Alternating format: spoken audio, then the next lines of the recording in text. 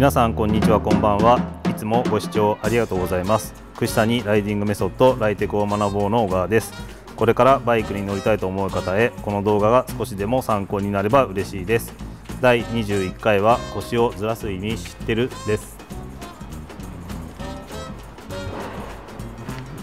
はい今回からですね腰のずらす意味をちょっとやりたいなと思ってます。あのー、なんで腰ずらして乗ってるかっていうのを多分わか分からない方も多いと思うのでその辺のずらす意味も含めて紹介していきたいなと思います。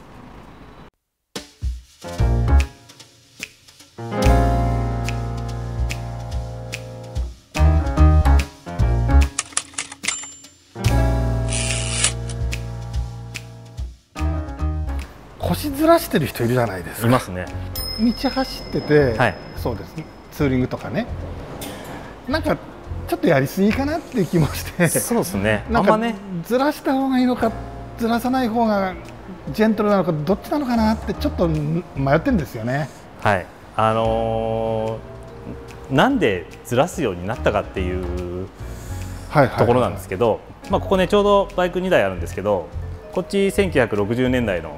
スポーツバイク。YDS3 古いですね。古いですね。この時のねやっぱリアタイヤの太さに注目したいなと思ってるんですけど太さ？です。なるほど。こっちが、えーと、YDS3 が3.25の18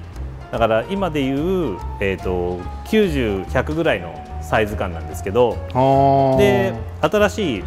モンスターの方は180サイズ。はいはい、でタイヤもねラジアルタイヤになってやっぱりあのどんどんタイヤがワイド化していったっていうところにちょっと腰をずらす理由みたいなものがありますねやっぱり。やっぱりオートバイがバンクするときにタイヤのセンターからエッジまでの距離が長くなった。こっちはねもう本当に3センチぐらいそうです、ね、な感じしますけどこっちはねやっぱりこのセンターから端までなんで、まあ、10センチぐらい倍以上距離があるので、はいはいはい、あのー、そこの移動する距離のタイムラグをなくすためにみんな腰をずらしている。なんで腰をずらすとセンターに乗ってるのでなくちょっと端に乗れる。あ最初から端っこに乗ってる、ね、本当に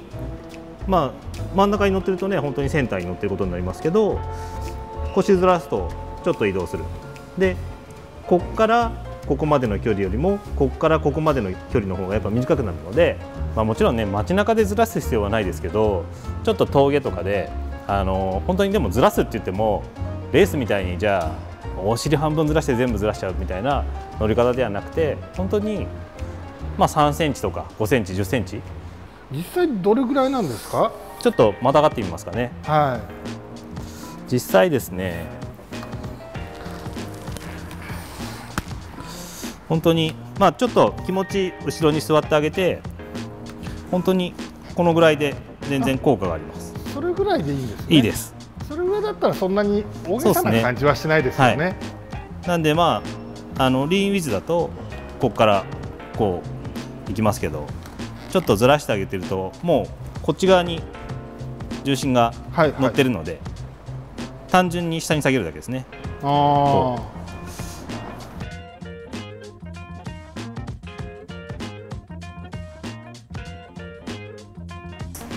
ずらすタイミングっていつぐらいなんですか？ずらすタイミングはにずらせばいいんですか？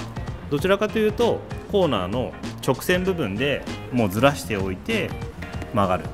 で立ち上がったら戻して、まあ、次のコーナーに向けて、まあ、ちょっとこっちだったらこう。じゃあカーブに入る前のそうです、ね、ブレーキの時にずらせばいいんですか、ね、ブレーキブレーキもしくはもうストレートの直線部分でずらしておくなるほど、はい、やっぱ曲がり瞬間にずらしちゃうと、その瞬間にやることが多くなっちゃうのでずらした瞬間にこう体重抜くっていうのは多分難しいと思うのであらかじめずらしておいてブレーキしてちょっとバツ重力を抜いて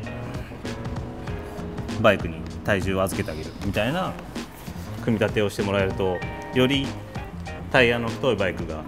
楽しめるようになると思います。でもタイヤが細かったらそんなにじゃあずらさなくてもいいそうですね。タイヤ細かったらもうずらす必要がないので、まあ、150以上とか、まあ、ラジアルタイヤの150以上とかなんかそういうイメージですかね。じゃあミドルクラス以上って感じですかね。そうですね。